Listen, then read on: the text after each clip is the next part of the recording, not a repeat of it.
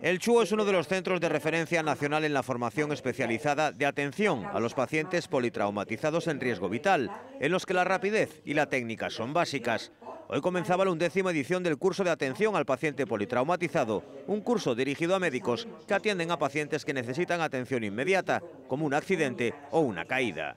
Los pacientes politraumatizados, una de las causas muy frecuentes de muerte es que tengan una hemorragia. Entonces, si el paciente llega a urgencia, que está frío, que está hipotenso, habrá que buscar por dónde sangra. Si sangra, puede sangrar o por fuera, digamos, una hemorragia externa o una hemorragia interna.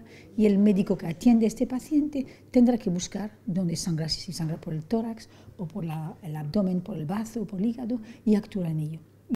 Además de la enseñanza teórica, es fundamental el trabajo que realizan los alumnos en los talleres. En todos eles vemos os distintos puntos fundamentais de atención ao paciente politraumatizado. Por exemplo, nesta que estamos é a estación da vía aérea. Vale?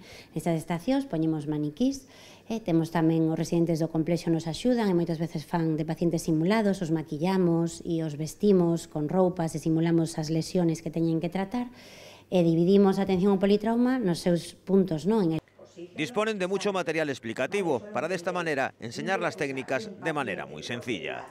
No caso de vía aérea, pois temos, por exemplo, as cánulas que se lles poñen dentro da boca para permitir que lles entre o aire, temos estos accesorios que van con esta mascarilla, que o típico que vedes nas películas de ventilar o paciente se chaman bu, temos as mascarillas para aportarlles flujo de oxígeno, e ensinamos os alumnos os distintos métodos, o que se chama intubación, que é así como moi peliculero, ¿no?